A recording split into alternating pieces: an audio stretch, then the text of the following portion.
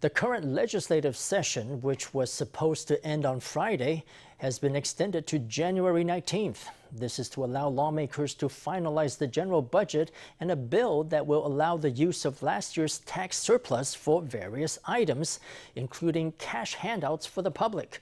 The cabinet, which was expected to resign en masse on Friday, will also likely do so on January 19th. If Premier Su Tseng-Chang does resign, former Vice President Chen Chien-jen has reportedly put up his hand to take over his post.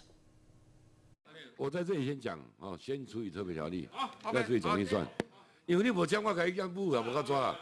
After a round of negotiations, the ruling and opposition parties on Friday reached a consensus that the current legislative session would be extended until January 19th.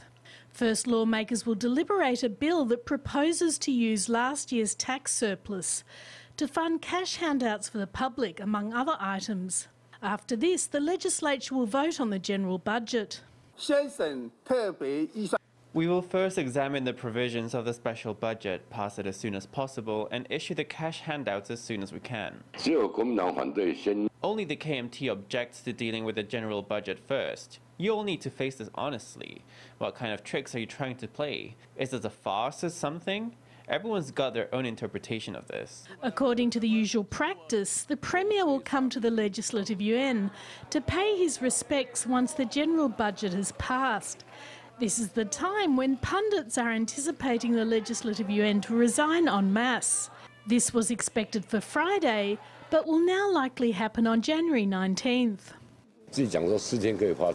曾明宗 himself said the cash handouts can be issued in four days, which is basically impossible. All he's doing is political manipulation. He can see that the DPP may be facing some issues with a cabinet reshuffle, so he's using the general budget deliberations to stall this. In addition, more reports have emerged about the upcoming changes in the Executive Yuan. Former Vice President Chen Chien-jen has reportedly put up his hand to be Premier, while the current Defence Minister Chiu Kuo-cheng is expected to leave his post. A name that's being touted to fill his place is National Security Council head Wellington Koo, which could make him the first ever civilian defence minister under the administration of President Tsai Ing-wen.